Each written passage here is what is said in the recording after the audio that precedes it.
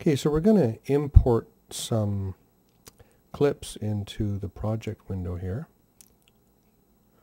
So we go File, Import, and then we have to go find it, find our clips.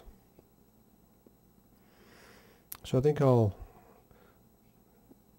bring in Hoop and this other one Untitled. Can do this by just hitting Control, pressing Control, and then go Open and here they come. So they're in my project window. So now let's look at the untitled clip. There's a boy playing basketball. So we can move the uh, move through the clip here to see where we want to trim it. So I'm going to trim it right there and so click. That's where it starts and we're going to find where it ends. I want to end it right there and I will trim it right there. Then I click here, that brings it down to the timeline.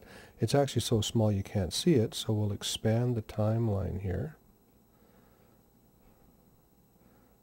Okay, and now we'll bring uh, the hoop in. So let's find a spot where we're going to trim this. So bring this over.